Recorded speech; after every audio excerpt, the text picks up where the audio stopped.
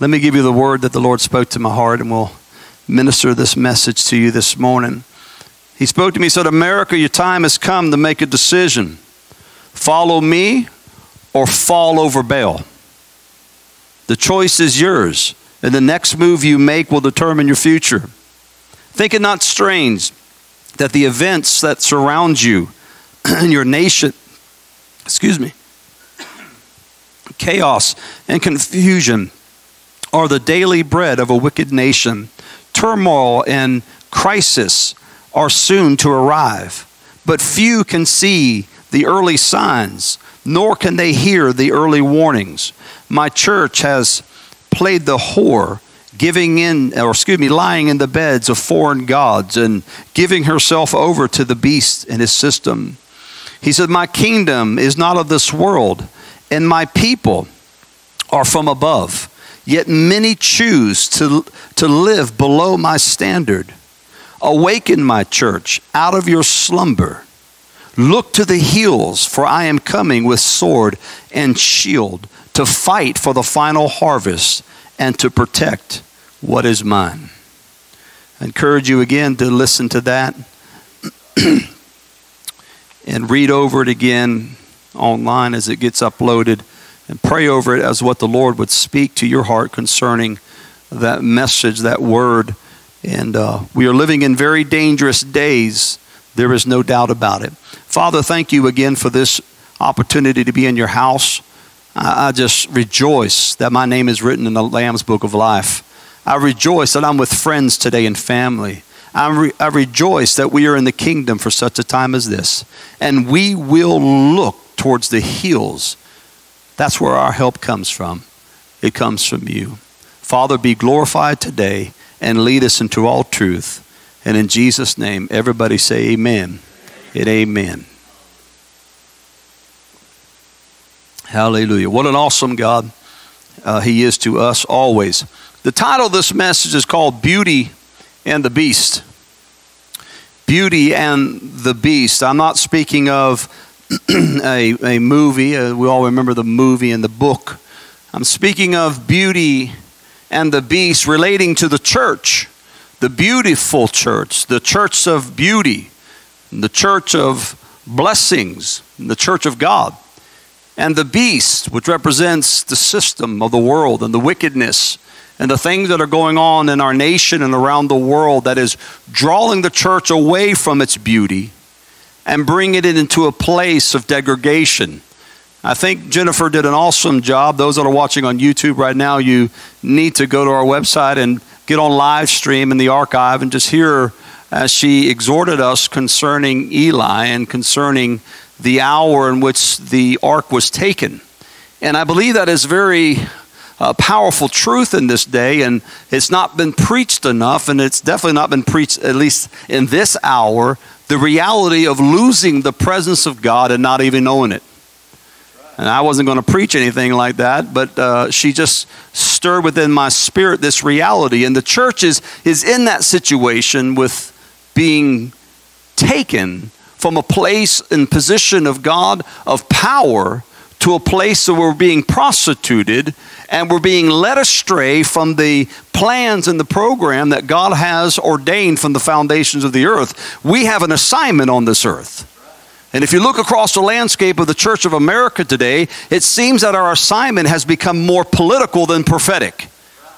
It's become more being led towards a, an agenda than it is for the King of Kings and for the reality of the lost souls of humanity and I, I look across and I, and I read articles and I research and I become amazed how I see pastors who've gone from being preachers of the gospel to politicians.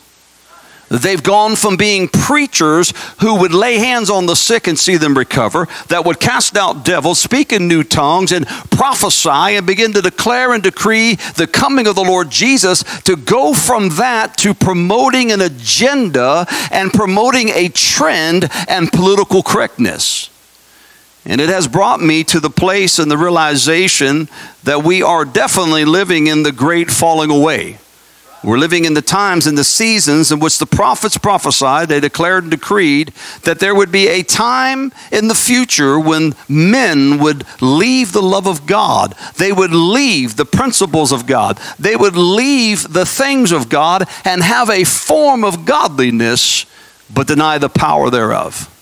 So, Beauty and the Beast, that's what we're going to preach on this morning and minister to you and those that are watching and listening in various parts of this nation and around the world. Jeremiah chapter 27, would you go there? Jeremiah chapter 27. I love you guys this morning. I love this house. I appreciate that to the moon and back and the moon beyond or something like that. To infinity beyond and then just love you and appreciate this house so much. And I love being your pastor. Thanks for letting me show up every Sunday and every Wednesday and giving me a key to the building. Amen. Jeremiah chapter 27. Hey, some pastors get a key to a U-Haul. Jeremiah chapter 27. Let's look at this beauty and the beast. In the beginning of the reign of Jehoiakim, the son of Josiah, king of Judah, came this word unto Jeremiah from the Lord.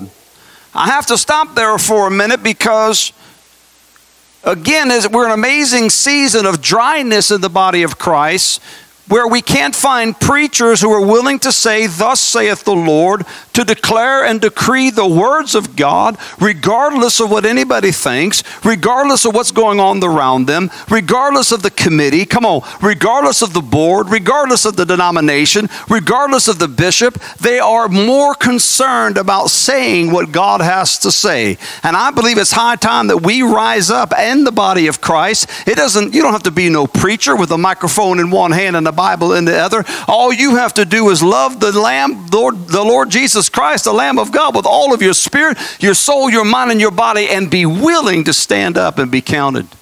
I believe there's coming a day of great persecution where you're going to have to make a decision to make a choice. I want to do it now. I want to decide now that I'm going to stand up for the things of God, that I'll stand up in the face of adversaries and, and all kinds of craziness and wickedness and declare the word of the Lord. So Jeremiah, he was there and he began to receive the word of the Lord. Again, this is what I pray today. I, I feel like echoing Jennifer this morning because I prayed the same thing on her birthday that we would find men and women of God who are willing to stand up and speak the hard things in love, in truth, but speak the hard things.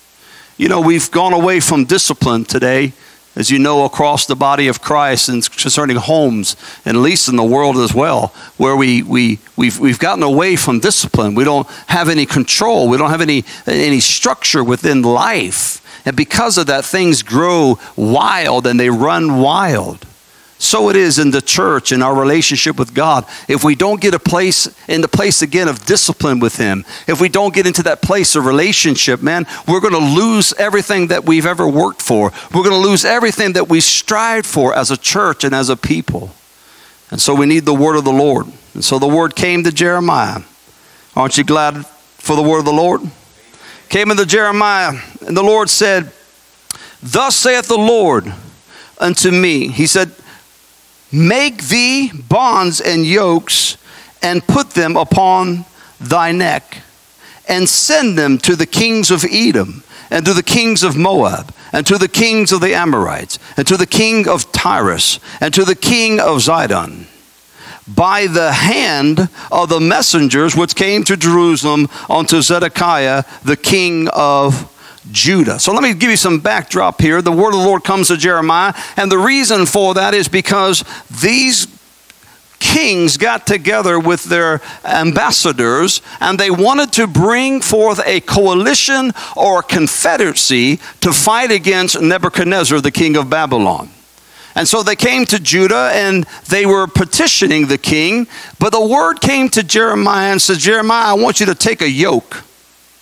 I want you to get something symbolic, and I want you to prove to these here that they will find themselves in bondage and in captivity if they don't follow my leading and my will. Again, this is a understanding for you and I today. The reason our nation is in this craziness and this chaos and the crisis that we're in is because we've not been willing to put on the yoke of God. We've not been willing to follow His way. We've not been willing to follow His plan and His precepts according to the Word of God. We do what we want to do when we come into the house of God. Preachers do what they want to do. They preach what they want to preach, and we can't find steadfast, unmovable people full of faith. How many of y'all remember people that you grew up with in church who were strong right there with you? Today they're gone. Come on, they're selling cars. they have left life. They've left. They, have checked out for Christianity, Christian life. They, they've left the things of righteousness and they pursued the things of the world because they weren't solid in their foundation. So he says to Jeremiah, I want you to do this because these ambassadors are trying to come against my plan. And I want you to see this and understand this this morning, and I will bring it out in clarity by the time you leave this building that God has a plan for America to go into captivity. God has a plan for America to go into judgment. God has a plan for the things that you're watching right now due to our sin and wickedness, but also for His plans for harvest. You see, because all of our slick haired, shiny shoe preachers and all of our programs, our multi million dollar buildings and projects and everything we do has not brought America one step closer to the cross, has not brought us one day closer to revival, has not brought us one closer to the manifestation of the glory of the Lord Jesus Christ. It hasn't. If we would just take an inventory and be honest and be transparent and look again across the landscape of our preachers and churches, they're not packed out in full. If they are, they're full of dead bones. Come on now, they're full of hype and programs and entrapments and entitlements instead of people coming into the presence of God hungry like you are here this morning, thirsty for the things of God. And so these ambassadors got together and they were trying to bring Judah out of the plan of God. And I know that's kind of a hard word to say, and people kind of scratch their head. They say, What do you mean there's judgment? Uh, what do you mean that God is using that as a plan to refine and bring His church into the last day assignment? That's exactly what God is doing because everything else we've ever tried to do isn't working. Come on, church. It's a hard word, but it's the truth. Watch this. He said, Send them to the king of Edom. Send them all the way through all these ambassadors. Send them all out. Verse 4 And command them to say unto their masters, Thus saith the Lord of hosts. Who said it? The Lord of hosts, the God of Israel. Thus shall you say unto your masters, I have made the part, I have made the earth. Now I have to stop there. It says, Say this unto your masters. I want you to say exactly what I'm saying to your masters. I want you to say exactly what I'm saying to the masses. I want you to say exactly what I'm saying to the body of Christ. Again, we need to find people that can say what God says. And if we do what God says, and if we act accordingly, we'll have the blessings of God. It's missing today. Watch this. He said, Command them, go to the masters Verse 5 I had made the earth, the man and the beast that are upon, uh, upon the ground by my great power and by my outstretched arm, and have given it unto whom it seemed, what say? Meet unto me. In other words, I'm going to do exactly what I'm going to do. I'm going to make it the way I want it to be, and there's nothing you can do. There's nothing that I can say. There's nothing that we can, you can try to preach and we can try to pray and try to push it out of the way, but there's no pushing the hand of God. When God commands something, it's immovable. When God declares something, it's going to happen when God declares that He is going to create this or create that, He's going to move this way or move that way, He is determined to do it. And so Jeremiah is in this position to tell them this. Don't you know that's hard for a preacher sometimes to say? I'm just giving you the foundation, bringing you into historical understanding. But Jeremiah had to stand before all these ambassadors. Imagine that standing before all these people who already had an agenda. They already had a plan. They already had an assignment. They already had a mission. They already had a purpose in their hearts. And he had to stand before them and say, Let me tell you what God has to say. This is our problem today in the body of Christ is finding people that are willing to stand up and declare the truth in an hour, in a day when the plans have already been made. Come on, how many of y'all know that when you talk to your family, they already made up their mind politically? They've made up their mind about the end times. They've made up their mind about church. They've made up their mind about the prophetic. And you have to stand there and declare and decree the word of the Lord. Hey, somebody's got to do it. Amen? Watch this. Verse 6. And now have, uh, have I given all this land into the hand of who? Nebuchadnezzar. Wait a minute. Now here's Jeremiah. He's standing before the ambassadors. These are people of renowned honor. These are people of power. These are people of, of, of great authority. And he says, I want you to tell them, even though they came here with an agenda, I want you to tell them that God has another plan for them. Beauty and the Beast. The church today has to stand up just like Jeremiah and look at a generation and look at a people who are convinced that everything's going to be wonderful, that are convinced that life is going to go on. We're going to continue to cycle through and we're going to have all this prosperity. We're going to have all these different things. And we don't believe that there's an end. We don't believe there's a day of judgment. We don't believe that the Lamb of God is coming. Because if we really believe that Jesus was coming, I think the church would live a whole lot differently. I think we would live a whole lot differently. We'd pray harder. We would love longer. We would give more. We would do more. We would stay up later and get up earlier. We would build the kingdom of God knowing that the King of Kings and the Lord of Lords is coming. We'd pray for our families more. We would do more for the kingdom if we really believed the Lord Jesus Christ was coming. I really believe that we would do more too if we believed judgment was here. I really do. I believe that we would put our hands upon the gospel plow and we would never look back, moving forward by faith, saying, I'm going to complete the task and the assignment that God has given me on this earth. I'm not going to give up, give out. I'm going to continue to move forward until I hear, Well done, that good and faithful servant. Come on, somebody. That's what I'm looking forward to hearing is, Well done, that good and faithful servant. You got to do something to hear it. I said, You got to do something to hear it. You got to do something well in order to hear well done.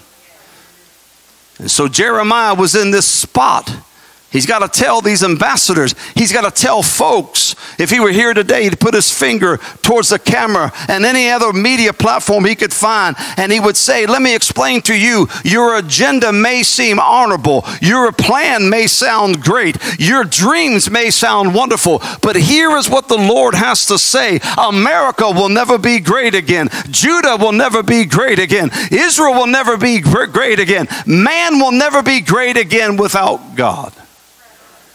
And we stand here today from Lavonia, Georgia, at Ignited Church, doing our best through the anointing and the unction of the Holy Ghost to declare and decree to a nation that has already made up his mind for the most part. You know it because you talk to people all the time. You talk to them, and their minds are just totally convinced that we're going to get through this time period. And it's going to be just another glorious 10, 20 years of our existence.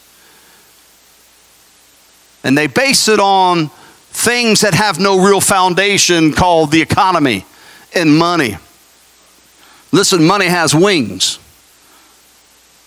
Oh, you didn't know that. Money has wings. Money can fly away from you. What you have today can be taken from you tomorrow. And so we stand in this same position today where Jeremiah was declaring to a generation and to a part of society that says, you know what, I just don't believe the bad days are here. you must be sleeping upside down in a post hole if you think these are good days. Watch this. Y'all okay? Some of y'all waterlogged from yesterday. Go ahead and shake yourself off. Amen. Watch this. He said, I'm giving the land unto the hand of Nebuchadnezzar. Wait, what land you talking about? The land that you trying to hold on to. Wait a minute now. I've got ambassadors here. We got a confederacy here. We got a, a group of people here that are going to stomp on Nebuchadnezzar. We got a plan. We got the right man in office. We got the right evangelical support system. We got the right money being raised. We got all this engine moving. We got the political power behind us. We got the winds of change behind us. We're going to move forward into our vision. But Jeremiah, Jeremiah pulls up with a yoke around his neck. And he says, Let me explain something to you, dudes. Let me explain something to you, fellas. It's not going to be the way that you think it's going to be. It's going to change. Oh, it's not going to change the way you want it to be. It's going to change the way God wants it to be because He gave this land into the hands of Nebuchadnezzar. I'm prophesying to you this morning that God has given this land into the hands of the Babylonians. He's given this land into the hands of the beast system. He's given this land into the hands of the Antichrist and all the minions and all the plans that God has for judgment of this nation. Oh, that felt good. That was like a lead balloon landing on some folks' head but it's a reality, honey. And I'm telling you, when resistance comes, I love it because you need to keep pushing it and keep pushing it and keep pushing the truth and speaking the word of the Lord like Jeremiah did. Keep putting on that yoke, handing that yoke to them, saying, Look, here's the word of the Lord. You may not like me right now, but you're going to like me later. You may not believe me now, but you're going to believe me later. Keep on pushing and telling your family. Keep on loving them and praying for them and telling them the change that you're looking for is not what you think that's coming. Nebuchadnezzar will get the land. Boy, isn't that hard? It's hard in a nation where we, we're people of hope, and we should be people of hope. But when you look at things in, a, in the wrong way through the rose colored glasses, and you look at things with an agenda that is selfish, and an agenda that does not include God, and an agenda that does not see Scripture, then you will find yourself on the wrong side always of God. So hard to say this because we live again in the nation that just does not want to receive this. They just do not want to receive the reality that God is going to wrap this thing up, that God is going to wrap it up in victory. And that's the message. The message is not doom and gloom, the message is hope, the message is revival, the message is, is a final restoration of all things. And the message is harvest. Because I don't know about you, there are just some people that have to learn the hard way. Don't look at your neighbor, but some of us have to learn the hard way. Some of us have got bruises and bumps and scars and scrapes because we had to learn it the hard way. And we're in that hour today, just like Jeremiah, where we have people that are hell bent, if you will, in their mindset, and they're so politically demonized and they're so motivated with passion. Some of it is rightly put and some of it is not, but they push towards an agenda thinking that this is going to please God and that this is going to bring about a utopia and a Christian nation and a change. But it's not. And Jeremiah had to do that. How many of y'all have ever felt like Jeremiah? I feel like Jeremiah this morning. I feel like him standing before all the ambassadors. Everybody's got their little portfolio and their attache, and they got all their documents from the king, and it's been stamped and had the signet ring put upon it. It's been sealed, and they've got messages from the commander in chief to go gather this confederacy and make a plan to stop God's plan. Are you here today? See, sometimes when you and I pray, and if you, you need to get a part of ISM and listen to our, uh, get involved in uh, the intercession class uh, maybe next time, but, but, but sometimes we try to pray against the plan of God, and that'll never work. Sometimes when you're, you're, somebody's going through some issues in life, don't pray that it eases up necessarily, especially if they don't know the Lord. Pray that God deals with them. Pray that God opens their eyes during the time of trial and testing and tribulation and trouble. Pray that God will just push on the pressure. Don't harm, harm them too bad. Don't hurt them too bad, Lord, but pressure them. Because some folks have to learn it the hard way. And Jeremiah was in that situation where he had to tell them the word of the Lord. Can you imagine? He's right there at a Make America Great rally. Come on, somebody. I don't care what political rally. Could you imagine Jeremiah pulling up in a rally, a political rally? I don't care what side it is. Everybody rooting and, and, and ranting and raving that they're going to change things on this side and this group's going to change it on that side. And then all of a sudden, Jeremiah pulls up with a bunch of yoke.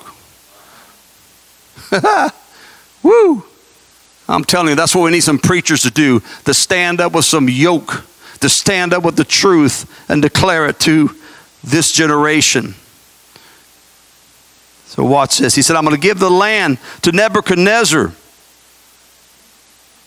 the king of Babylon. What did he say next? My servant. He said, I'm going to give this land to the hands of King Nebuchadnezzar, my servant. Wait a minute now, I thought Nebuchadnezzar was a bad king.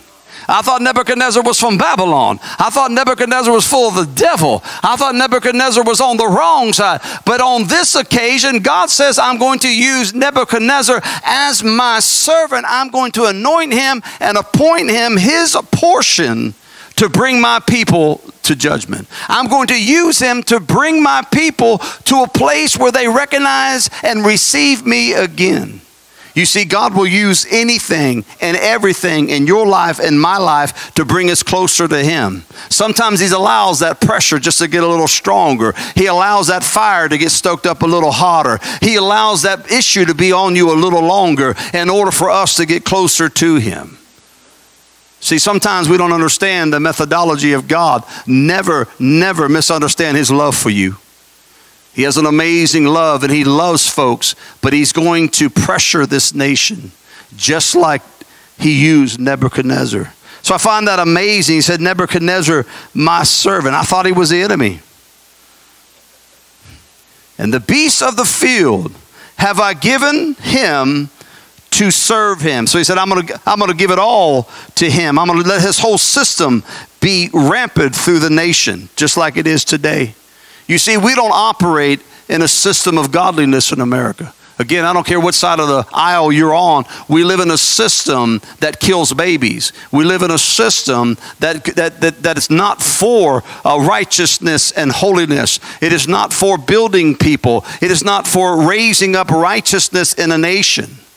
We're watching pedophilia and all kinds of craziness take place all around our nation and watching uh, the other day i was researching and watching the, these drag queens and story time at the libraries and dancing at parties are now uh, promoting them to go out to parties. You can go ahead and rent you a drag queen. Are you here today? I know that's not in the multitude and the majority of the people, but it's the reality of a nation that has gone so far, that has gone so far away from God and for righteousness. It's heartbreaking as we listen to these stories. But Americans don't really care yet. Verse 8.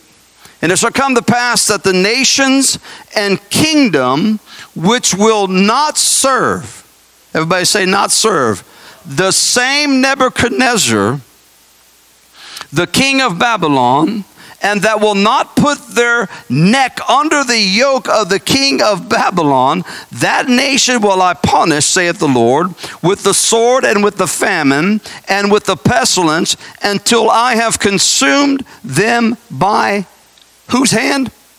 His hand. Again, I try to put I try to put Jeremiah in this position, standing at some type of rally somewhere, or standing in Congress, or standing somewhere in, in the position of power, and looking at all the cats that have their plans, and look at all the politicians and people in power, and stand up and say, "Guess what? The thing that you're fighting against, and the, the things that you don't want to happen in your nation, are going to happen because God has a plan to use that to bring you to His." His side and his relationship and to bring harvest to a nation. That is absolutely the most craziest thing when you look at it biblically and you look at it practically. But God said, Jeremiah, that's what I want you to do. I want you to stand up and tell them that. And so he begins to tell them that it's going to happen.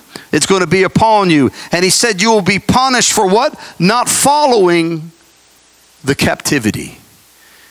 Now, think for a minute and put this around your own mind. Wrap your mind around this understanding. This sounds absolutely crazy that God would require these people, Judah and the others surrounding them, to put themselves under the neck of the yoke of Nebuchadnezzar.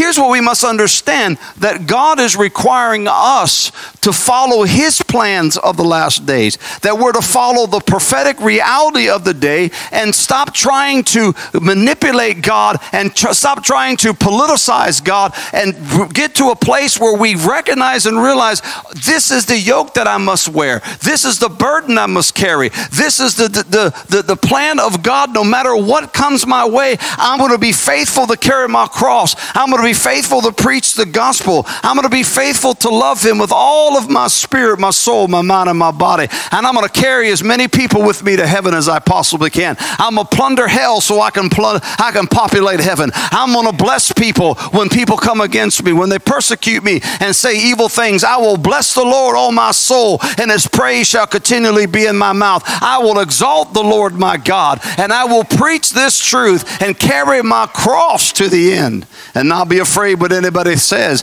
or how anybody looks because my faith is not in man, but my faith is in God. I don't fear no man, but I fear an almighty God. See, I, we, we need that today.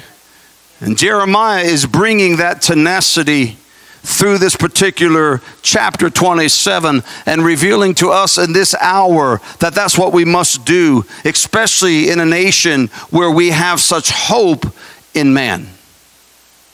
Let me try that again. We have such hope in man. We have such hope in women. We have such hope in power and leadership instead of putting our trust and our hope in the Father. I'm not saying we don't love and we don't pray and we don't respect authority, but we don't bow down to them. We follow the plan of God, and whatever that plan is, we're going to follow it. Verse 9, are you still in the Bible? Therefore, hearken not ye to your prophets, nor to your diviners, nor to your dreamers, nor to your enchanters, nor to your sorcerers, which speak unto you, saying, Ye shall not serve the king of Babylon. Now, listen to me. This flies in the face what Jeremiah is saying against all the popular preachers of the hour. Think about this with me. Jeremiah, he is one of the very few of the prophets that God says, I want you to go to the courts. I want you to go to the large place. I want you to go to the place of power, to the king's palace, and I want you to stand up and say something that nobody else is saying.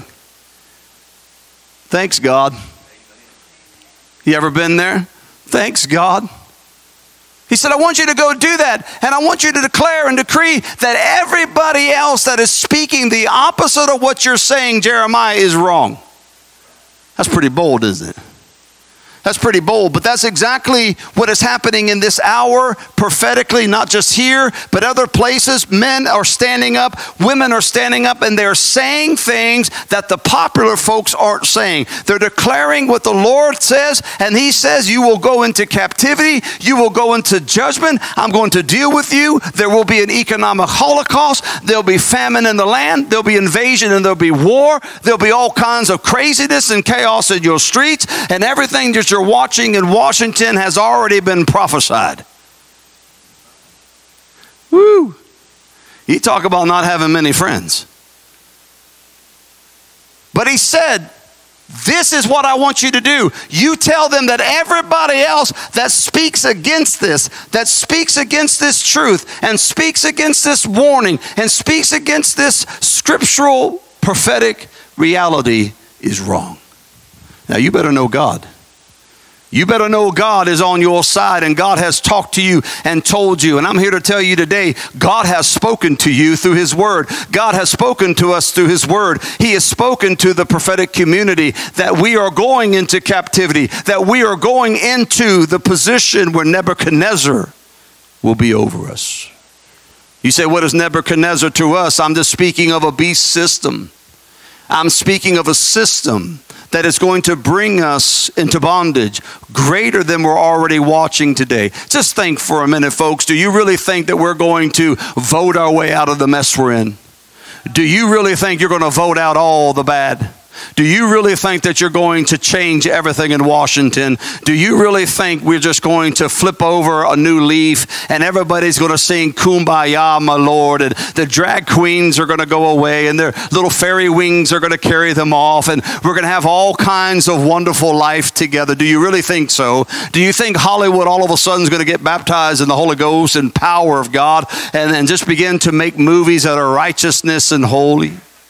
Do you really think so? Do you really think our country music industry is going to change and, and sing songs about the love of Jesus Christ and not fornicate in the back of a pickup truck? Do you really think hip hop's going to change? Do you really think our sports arenas and sports entertainment and all of these entrapments of life, do you really think they're going to change? But see, there's people that I'm preaching to right now that have a mindset and they're so determined. They are so full of passion for the political agenda of our hour. They're so full of passion for seeing a change. And some may be, have the right heart about it, but many are wrong. And you say, why does that matter now, Pastor? Why bring that up now? Because it matters how you speak, it matters how you live, it matters how you pray, it matters how you believe. Because if you believe a lie, if you believe the diviners, if you li- believe the sorcerers, if you believe the prophets and the warlocks and the witches and all those that stand up on television and preach an opposite gospel, then you will find yourself on the other side of the shipwreck. Yes, you will. You won't be ready. You won't provide for your home. You won't provide for your family or your neighbors. You won't put things away. You won't get ready for the great harvest. You won't even be a soul winner. Why? Because you don't care about souls. You care about your next meal, your next paycheck. You care about your 401k. You care about your retirement. You care about your future. You care about all these things because life will go on like it is. Wish I had somebody say amen in this Catholic church. It's truth. I deal with it day in and day out, and you do too with people who are so strong willed. And I'm talking to church folk. You're right. You have a right to your own opinion just like I do. But when we go against the plans of God, when we go against the prophetic and the will of God, then we find ourselves kicking against Him and we find ourselves in opposition, which brings us into trouble. I truly believe that the, the reason the body of Christ is so divided in this hour is because of politics. It's disgusting. It is absolutely disgusting to see church and family members and folks torn apart over a political agenda instead of looking at the Word of God and recognizing and realizing that this thing one day wraps up, that this day, one day, this whole thing comes to a point of judgment. And wishing it wouldn't be so doesn't change it. Watch this with me. He said, Therefore, hearken you not to your prophets. Don't listen to these guys. Don't listen to these dreamers. Well, I had a dream, man. I have, I have a dream that in the next 10 years, we just going to change everything. We're going to make the infrastructure better. How long you been hearing that when you busted your tooth out on a pothole? Come on, somebody. How many more dreams can be given? How many more promises can be given till we finally wake up and realize that our hope is only in Jesus Christ? You see, you can't legislate love. You can't legislate love. All those things I mentioned earlier, and I know people get upset about it, but I'm telling you, they will be here and they will increase, and we're not going to change it. Society is in decay. You want to talk about the swamp? The swamp ain't in D.C., the swamp is America. You can't drain it. You better learn how to navigate in the swamp. Come on, somebody. Beauty and the beast. We've connected with the beasts as a church. We've connected with unrighteousness and we put people in power pray, praying and believing that they can take us out of bondage and take us out of the plan of God. And that is the wrong view. I have hope just like you do, and I want to see things uh, be, be, be wonderful and love life. But I'm telling you, there comes a time when you look at reality and you say it's not going to be so, especially when you look at the Word of God and where we are in the last days. He said, Your enchanters and your sorcerers would speak unto you, saying, You shall not serve the king of Babylon, for they prophesy a what? A lie unto you to remove you from your land, and that I should drive you out and you should perish. Wow. When you begin to look at this, you, you, you, you kind of think somebody's got something wrong over here. Somebody, somebody ain't thinking straight. You mean to tell me, God, you're going to allow Nebuchadnezzar to rule over us you're going to allow him to come in with his armies. You're going to allow him to bring captivity to us, but that captivity is the answer to live in the land? How many of y'all know people thought Jeremiah was crazy? Just like the folks you know, when you begin to tell them and say, This is part of judgment. What is happening in Washington is not left and right paradigm. What is happening is judgment and exposure. It does not matter the outcome, it doesn't matter the beginning. All that matters is the end, and the end will be done according to the will of God. But we can't see that. And because we can't see that, we come defensive, or we come offensive, or we come angry, and we separate ourselves, and we lose focus on what God has told us to do in these last days. I'm watching it all the time with preachers. I'm watching it all the time with church people. They lose their focus of why you're here on earth and why we're here in America. I'm not here in America so I can get more stuff. I'm here in America so I can use what God has given us to preach the gospel to the nations of the earth and as reach many people as I possibly can before they go to hell. That's your job too. Your job isn't to get new stuff. If you get new stuff, that's a bonus, thank God. But that isn't the reason we're alive. It's just a blessing of God. But the church has become so divided. It's become so distracted. We've lost focus on the purposes of the kingdom and the purpose of life. And it breaks my heart as a pastor, it breaks my heart as a Christian, it breaks my heart as a citizen to watch people get embattled and entrenched by somebody that is here today and gone tomorrow. Are you listening to me?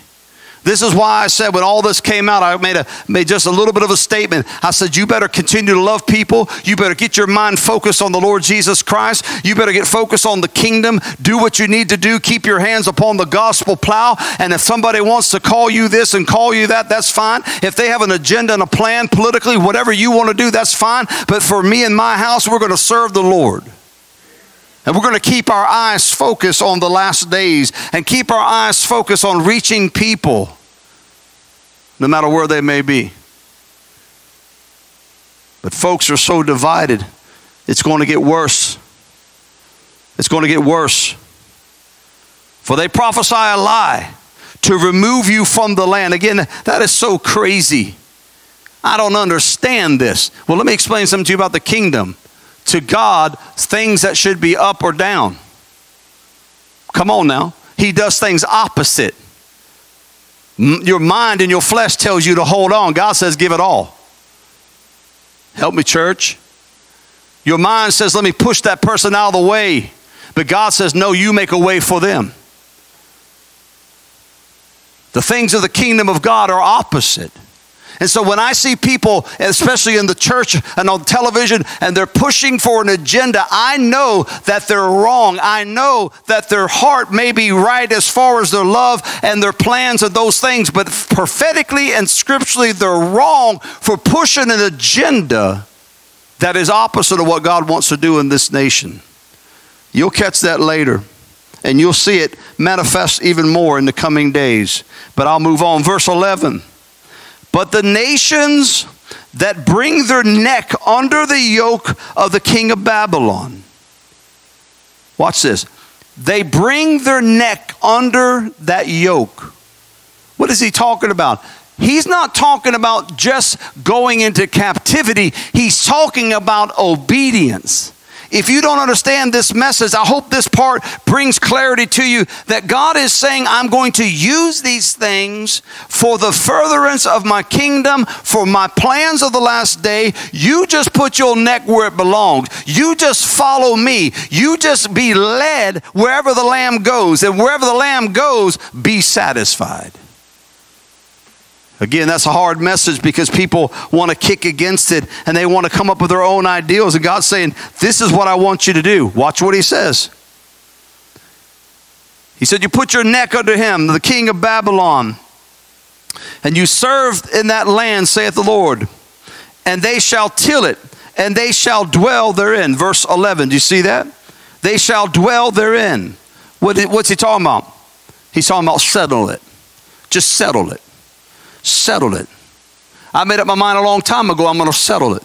I don't like everything that's happening in my country. I don't like things that are happening in the world, but I'm settling it in my heart that I am going to live for God and His kingdom and seek you first His kingdom, and all these other things are going to be added unto me. I'm not going to worry about what's happening all around me, but I'm going to stay focused on His plans. I know this is reaching somebody because many contact me of the struggles and all the fights that go on in family, man, over, over the last days and over the Bible. It's so sad to hear it when all you have to do is follow the word. It's very easy, it's right there for you. If the things that are being preached are not lining up with what's going on in the world, then discard it. But if what's being preached is amening and confirming what's going on around you, I think I would begin to listen. I think I would follow the plan. I think I would follow what Jeremiah was saying to those ambassadors put your neck underneath the yoke and let God be God, and He will lead you to where He wants you to go.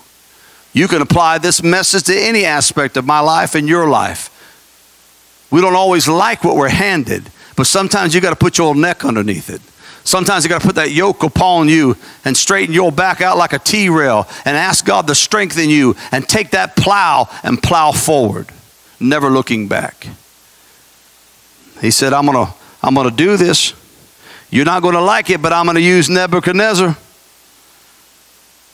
Verse 12. And I speak also to Zedekiah, king of Judah, according to all these words, saying, Bring your necks under the yoke of the king of Babylon and serve him and his, and his people and live. Check this out. Jeremiah not only went to the ambassadors, he went to the man himself. I said he didn't just go to the little messengers, he went to the master. And again, this is the message that we should bring to the whole world and to the nations of the earth to follow the plan of God. He said, Bring it underneath the yoke. And what's going to happen? He said, You're going to live. Why will you die? Verse 3. 13. Why will you die, ye uh, and by the people, and by the sword, uh, by the famine, and by the pestilence? As the Lord has spoken against the nation that will not serve the king of Babylon. Therefore, hearken not unto the words of the prophets that speak unto you, saying, You shall not serve the king of Babylon, for they shall prophesy a lie unto you. So he mentions it twice. He said, Don't follow those who prophesy these things that tell you that it's going to be a great day, it's going to be a wonderful day, that we're going to take legislation into our own hands and change things and make it awesome. Again, it's not a message of lacking hope, it's just realization that my hope is in the Lord, that my strength and the promise of the future is not in an entity or a people or a group or an ideology or a philosophy philosophy. It is put in Jesus Christ and Christ alone. Oh, this message needs to be preached by pastors all over America, putting our hope back in the Lord Jesus Christ. I'm not saying forfeit things that have been given to you in governance. I'm just talking about the reality of going back to the basics and going back to the cross and going back to the altar and going back to the relationship with God and saying, God, I love you more than the church building. I love you more than the salary. I love you more than the benefits. I love you more than the media and the accolades and the applause. I love you more than anything. I love you more than my job. I love you more than my family members. I love you more than anything, Lord God. I love you. I love you. I love you. We're missing that part because we're so caught up in what's happening around us politically not only on the world, but also within the body of Christ and the church. Some of those pastors that are watching me right now that listen to me, because they've told me that they listen to me, you're so caught up with your board or your denomination, you can't be free. You need to break free and find yourself a relationship with God and pursue Him like you pursued Him when you first were born again. Most preachers don't do it because they're afraid of what people will say. They're afraid of losing things. They're afraid of what will happen and, and, and get fired from your job. Come on, getting fired may be the best thing that ever happened to you. Leaving that church may be the best thing that ever happened to you. Starting you a home church may be the best thing that ever happened to you. You see, we need a shaking in the body of Christ. Beauty and the beast. We're so tied into the beast system, we've lost our beauty. The church looks so much like the world, and you can't tell the difference.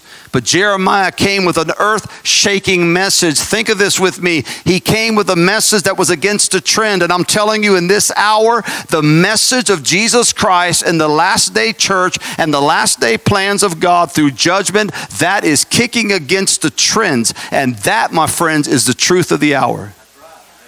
You better go with prophetic and forget popular. You better go with what God is saying and what's trending in heaven and not trending on earth or on some type of Christian blog site. I'm going to tell you something. If you really love God and you really serve Him, you'll never be popular. You'll never be popular. You're going to kick dirt in somebody's face. You're going to throw up some dust and make somebody mad. You're going to ruffle some feathers. You're going to pull that little hair right behind their neck. How many of y'all know what I'm talking about? Make a grown man holler. But sometimes that's what we have to do. And especially in this hour, and that's what Jeremiah had to do. He had to speak to a generation of people that were stiff necked. They were so in, in, in, engrafted and so encrusted, if you will, into the agenda of the kings that they thought that they could kick against God's plans. And I'm warning the body of Christ let it flow. Let God do what He's going to do. Do not get in the way of God's plans. Don't join this evangelical bandwagon that's hitting the drums and telling you to give all kinds of incantations and prayers and mantras to God when it is against His plan and His will. You'll see. You'll see. Watch this now. Can y'all handle me for just a little more? I know y'all finally woke up, but watch this. Verse 14, I love you. Therefore, hearken not unto the words of the prophets that speak unto you, saying, You shall not serve the king of Babylon, for they prophesy a lie unto you. It sounded so good the first time I read it again. Verse 15, For I have not sent them, saith the Lord. What did he say? I haven't sent them. But they're wearing prophet clothes. They drove up in a preacher's car. They had a caddy or a Lexus or a Hummer or a Bentley. They looked like preachers. They had preacher clothes on, preacher ties, preacher shoes, preacher hair. They looked like preachers and prophets, didn't they? Yeah, but I didn't send them. How do you know he didn't send them? Because of what they said. Come on, church. They look like godliness. They look like preachers. And that's what gets me. People get enamored by what they see on television and the preachers and all the multi million dollar buildings and all the stuff they have. And they go, oh, it's got to be God. No, it's not. Some of the most Holy Ghost filled preachers who can pay, preach the paint off the wall are in little storefronts right now preaching their brains out right at this hour, loving God and loving their people, and they don't have even a Kodak camera. They don't have all kinds of media platforms. They just love God. They're on fire for the Holy Ghost and they're reaching their community. But America, we are some of the most gullible people because we must have it glitter. If it glitters, it's God. Are you here? I didn't send them. They're prophesying their own lies. They're lying. For I have not sent them, saith the Lord, yet they prophesy a lie in my name. Sound like prophets, don't they? Well, he said, he said Jesus, he said, God bless America. Come on, somebody. Hear a political campaign. God bless America. Woo, he's a Christian. In God we trust. Yay! We have watered down the understanding of what a Christian is because we're so eager to have somebody lead us.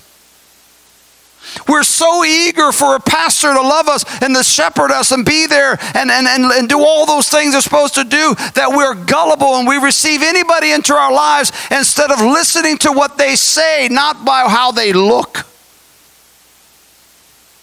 Beauty and the Beast. We've turned our beauty into a disgrace because we've, we've embraced these things in the body of Christ and these charlatans and these people who rape the church and they steal from the church and they send us on an agenda of a false hope over the abyss. When the Jeremiahs are crying in the wilderness, the John the Baptists are crying in the wilderness, and they're crying out, Follow the way of the Lamb. And the way of the Lamb is always against trend. Always, always, always because trends are something that are happening in real time. Scripture is prophetic and forever. It doesn't have to trend because it is the trend. It's patented. God is unmovable. He's, he's unchangeable. He's incredible also. We've been duped. I'm telling you, and I'm preparing this church for what's coming down the road. You're not going to like what you are going to see, but you will be prepared in this house for it. Changing of the guard is coming. Watch this. Are you still here? You got it? You all right?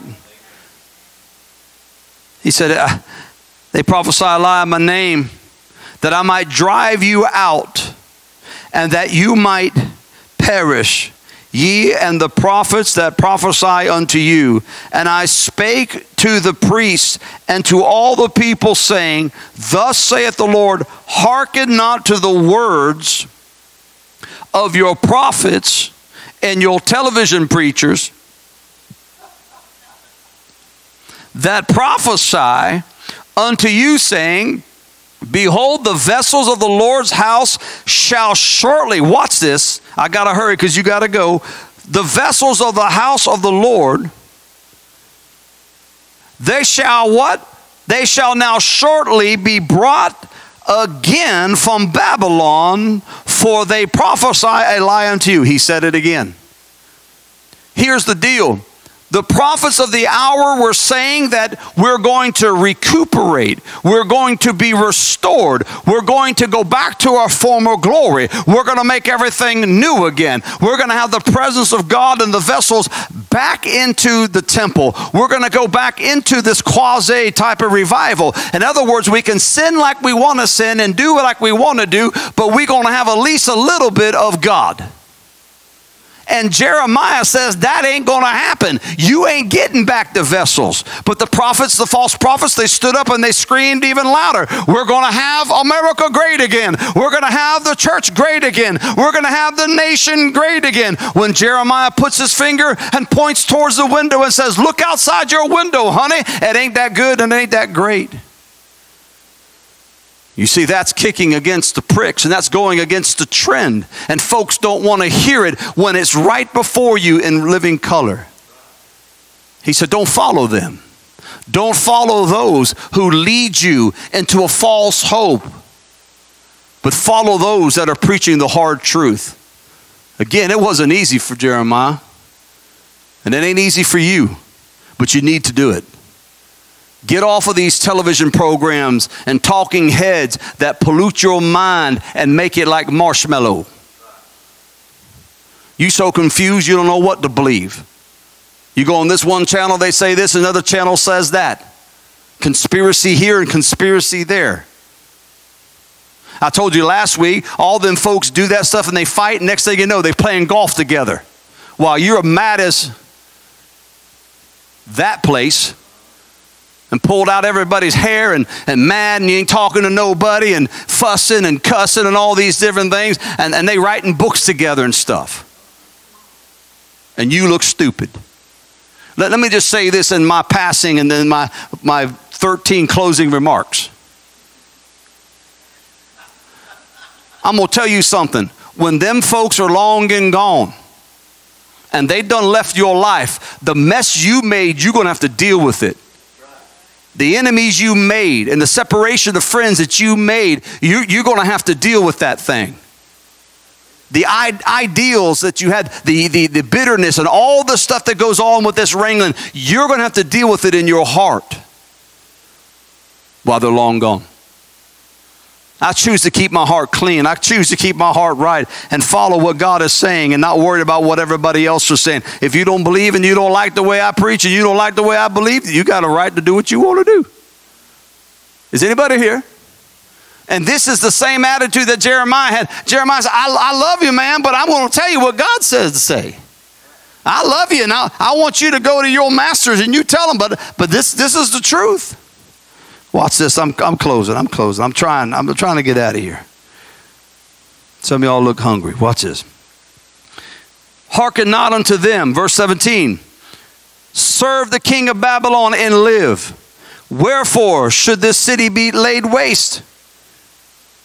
But if they be prophets, here's what I want you to see. If they be prophets, true prophets, and the word of the Lord be with them, let them now make intercession to the Lord of hosts, that the vessels which are left in the house of the Lord and in the house of the king of Judah and at Jerusalem go not to Babylon. In other words, if they are really prophets of God and they really love the Lord and they really serve Him and they're really telling the truth, they would be people of intercession to say, God, I do want you to restore. God, I want you to do what you want to do. But they completely understand that His plan and His will is going to be done. There's none of us that are walking this path that I'm speaking of right now desire anything bad to happen to anybody. My prayer is God, have mercy in the midst of judgment. My prayer is God, protect your people, protect the church, protect the flock, but expose those who are unrighteous. Expose every one of them. Because I don't have an agenda. I'm not left and I'm not right. I'm straight down the middle through the cross of Jesus Christ. And you better find yourself in that same position or you're going to look very foolish on either side. And then finally, that's my second close, right? I get three. For thus saith the Lord of hosts concerning the pillars and concerning the sea, concerning the, the base, the bases, and concerning the residue of the vessels that remain in the city, which Nebuchadnezzar, king of Babylon, took not when he carried away the captive. Watch verse 21. Yea, thus saith the Lord of hosts, the God of Israel, concerning the vessels that remain in the house of the Lord and in the house of the king of Judah and of Jerusalem. They shall be carried to Babylon, and there shall they be until the day that I visit them, saith the Lord. Then will I bring them up and restore them to this place. In other words, I'm going to do what I want to do, the way I want to do it, when I want to do it, and you can't do anything about it. You better deal with it. Very hard words that Jeremiah had to speak. And very hard words we have to speak today to a nation that is going to go through even more crisis and chaos than we've already seen. You haven't seen anything yet. And my prayer is that you would be on the right side of truth and not on the wrong side of a political agenda and a false hope, you better follow the Bible and what the Bible says of the last days. If you're watching right now, you don't know Jesus Christ as your Lord and Savior, today's the day of salvation. Today's the day to give your life to Him. I don't care how far away you've gone, and no matter what you've ever done, He loves you with an amazing love. If you're backslidden, come on, today's the day to come home. Prodigal son, the Lord loves you. Prodigal daughter, the Lord loves you. He loves you with amazing love, and I pray today you make that decision. Father, we love you. We thank you for this opportunity to deliver this message, the beauty and the beast. We're in a very dangerous hour, Father God. So many rumors are swirling around, so many things are happening, so many moving parts are happening in this nation. It is proof of a nation that is in decay. Where there is confusion, there is every evil work. Help us, Father, to walk in the middle, carrying our cross and loving everybody every day, preaching truth. In Jesus' name, amen. Guys, I love you. Blessings to you. I'll see you Wednesday. Blessings.